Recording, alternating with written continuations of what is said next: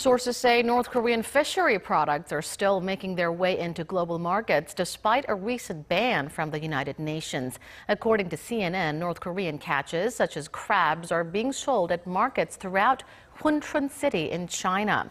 In August, Beijing agreed to enforce the UN sanctions banning the import of North Korean goods following Pyongyang's continued provocations.